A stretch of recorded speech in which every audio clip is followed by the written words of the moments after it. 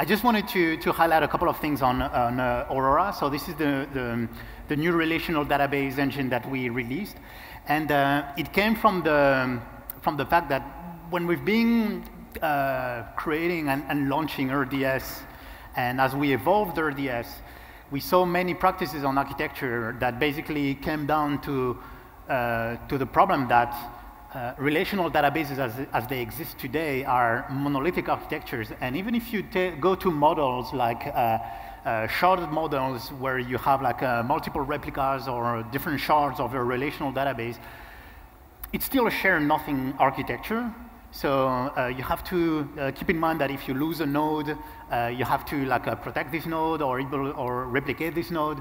So you see that relational database is schematically like a, a, stack of four different layers, like the SQL, uh, SQL engine, the transaction engine, and so on. And those are not shared across, um, uh, across the whole cluster. You have to manage everything on your application when you, when you need to scale. Obviously, the, the other problem is that if you need to scale, you have to add boxes. So it's, it's definitely not the most granular way to, to grow a database. And well, I'll not go back to this, uh, to this whole discussion because this is what started uh, NoSQL databases. Um, but at the end, the, the question for Amazon was, um, okay, we have DynamoDB, um, we have all the products like this, but we still need relational databases for many things, like for transactions, for complex queries, and so on. And Redshift is, uh, is something that is more a data warehouse, is more for reading information, is not to write information. So the question was, from an, from an engineering perspective, if you want to completely rebuild relational databases today, because it's it's a, it's a technology that comes, that started in the, in the 70s, right? So if you, if you rebuild relational databases today, how you, will, how you will do it? So there's things that you are going to completely throw away, like the storing mechanism, which has been built for like uh, single nodes, and others that you're going to keep, like uh, uh, SQL processing, because, for example, um, Aurora is, uh, is MySQL compatible, so if you have applications that runs on uh, MySQL or that are uh, using MariaDB, you can like put a drop-in replacement with uh, Aurora, it's gonna, it's gonna work.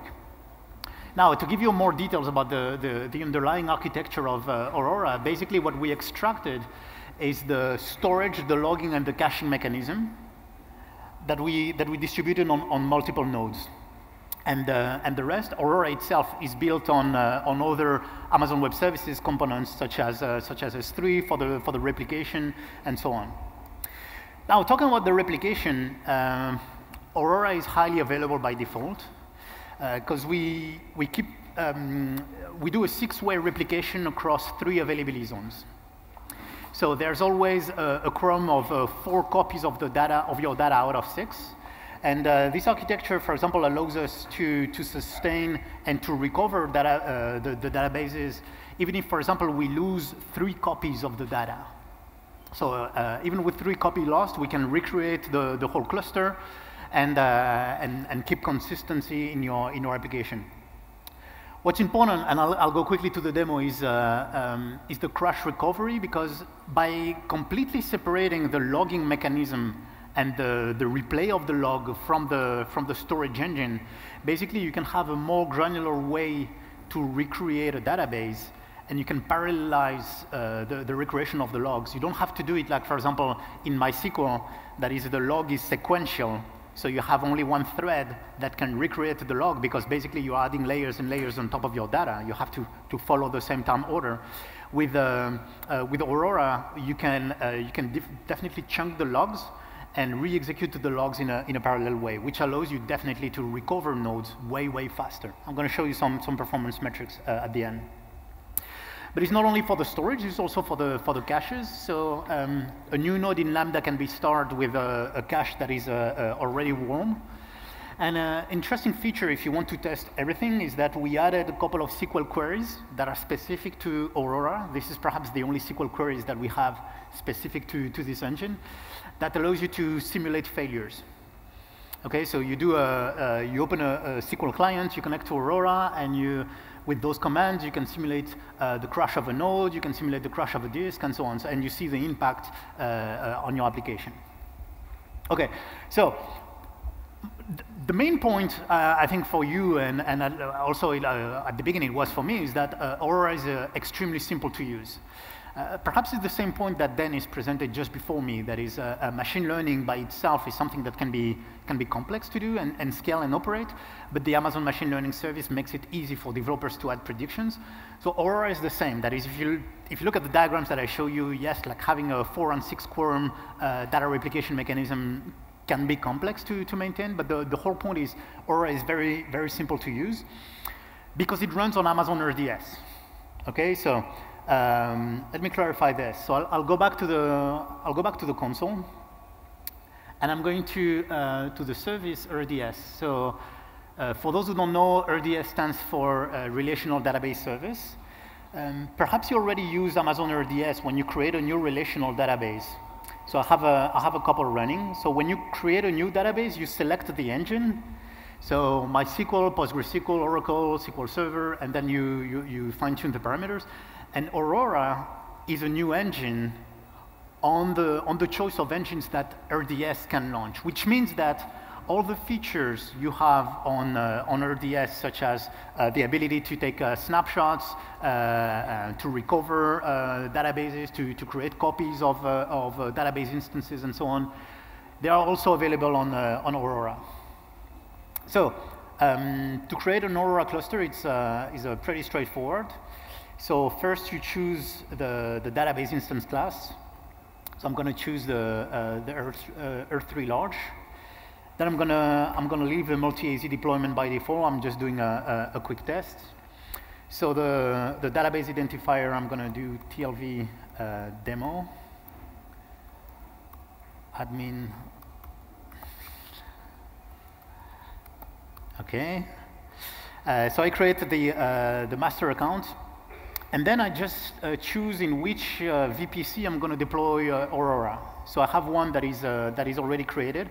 The thing you have to keep in mind is that for Aurora, you, you can only run the database in a VPC that, that spans two availability zones. Okay, this is for the, uh, for the, for the replication mechanisms. And uh, uh, obviously, if you have two availability zones, so you have to have like two, uh, two subnetworks um, uh, that span those, uh, those availability zones. So I'm, I'm running on this VPC. I have a security group that is already created.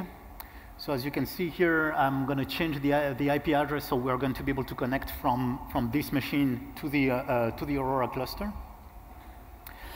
And then basically, it's just the same parameters that you will see, for example, in, uh, in MySQL, in Oracle, or in SQL Server, uh, just the, the cluster identifier that you can, uh, that you can add, and the, the databases that you, can, that you are going to have inside the, inside the cluster. So you can leave this completely blank, because you're going to be able to create new schemas and new, and new, uh, and new databases uh, uh, on the run.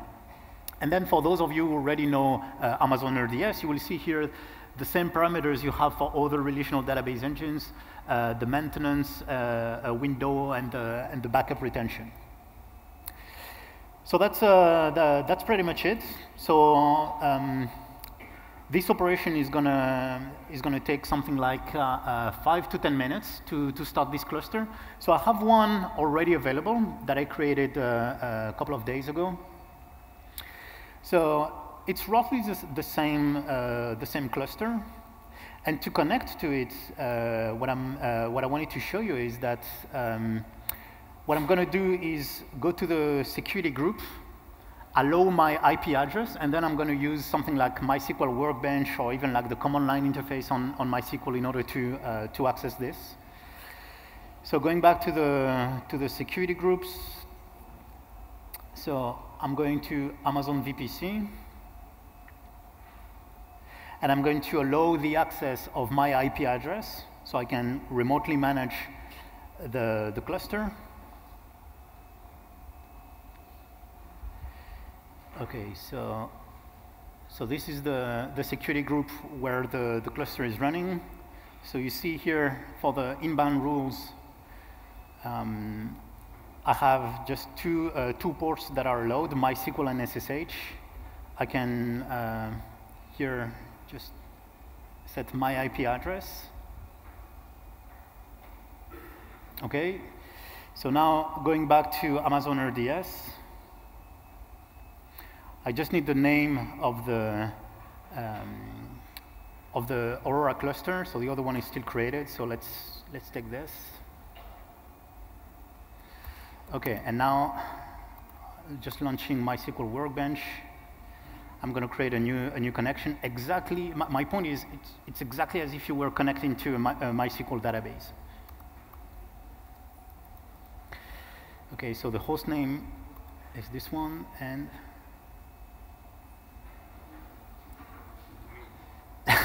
okay. Um, no, no, it's not the same. This is another cluster that I created the other day, so it's not, it's not the same credential. Uh, I think it was.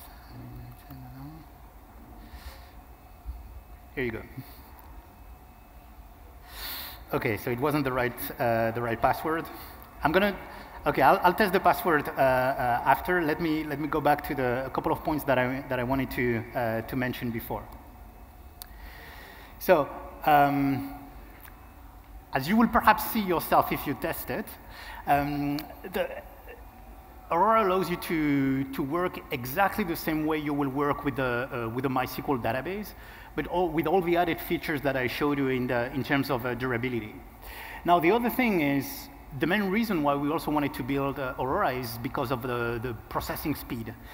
Because today, if you want to have like an extremely fast relational database on, uh, um, on Amazon Web Services, there's, there's different architectures to do it, but uh, let's say that you need a database that does something like, I don't know, uh, 80,000 IOPS uh, per second.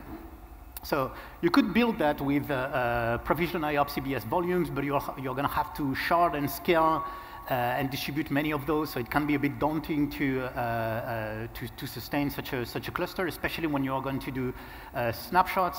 You're going to have to freeze and flush all the volumes and then take consistent snapshots. So the other way to do it is to take two very big EC2 instances, uh, the ones with, uh, with big SSD volumes on it. so the, the large C4 instances can give you something like 100,000 IOPS, but on ephemeral storage. So if, the, if you lose the EC2 instance, you lose the database, not a good idea. So usually what customers do is they create two of those big instances and they do like a master-master replication between them. So they can have like a relational databases that can provide something like 80,000 or 100,000 IOPS. Now the other option now is obviously to use, uh, uh, to use Aurora. So the, the test we did, so this is a, a, a screenshot of the, of the console is the, uh, the, the, MySQL stress test that you can find on the, on the MySQL website. So uh, it runs with, uh, uh with the, this cluster. So this is the, the second uh, cluster that, uh, that you have on, on the Aurora engine. And here you see that, for example, this cluster was, was able to sustain half a million selects per second with 1,000 database connections concurrently. So half a million selects per second is, is already something that is, uh, that is quite huge for a, for a relational database. But if you look at also the replication lag, uh, this is also an interesting feature because uh, you see the, the maximum uh, replication lag here is at, uh, is at seven milliseconds during this, uh, during this stress test. And so the replication lag uh, was uh, at 7 milliseconds while, uh, while the cluster was doing 13,000 updates per second. So again, this is something that um, I don't know if those numbers are impressive if you are not from the database uh, uh, from the database world, but uh, but they should be. Otherwise, you can you can try to to get to those to to those numbers. Um, the good news now is that the the Aurora preview is also available here in Europe. So if you have, for example, um, um, RDS instance, which is running in Ireland, what you can do is you take a snapshot of your RDS instance, and you can recreate an Aurora cluster based on the snapshot of this instance. Otherwise, if, for example, you have a MySQL database um, on your premises, you can do a MySQL database dump, right? So you collect the file, and uh, you just upload this dump into, into an, an EC2 instance, and you re-inject the dump into Aurora, exactly with, exact, uh, with the same tools uh, that you will use for, for MySQL. Uh, the third mechanism to import data into, into Aurora is to set up a, a master-slave replication, which also works. So you can have a, a, a database that is, uh, for example, on your premises, that is uh, replicating the, uh, the tables and all the data into an Aurora cluster. Once the replication is done, you can cut, uh, you can cut the mechanism and you're, you're good to go. So um, the service is still in preview, so you, you have to go to the website of Aurora. So aws.amazon.com slash, uh, slash Aurora will, will also work. Uh, you, you give the, your, your account ID, we will, uh, in um, just a couple of days or perhaps less than a week, we're going to give you access to the, to the preview, which runs on, uh, on those three regions. And the full availability of the service is going to come soon. So with that, we are still around if you need uh, any information on Aurora, and uh, I'll recover the password and I'll come do you a, a full demo if you come at the booth. Thank you.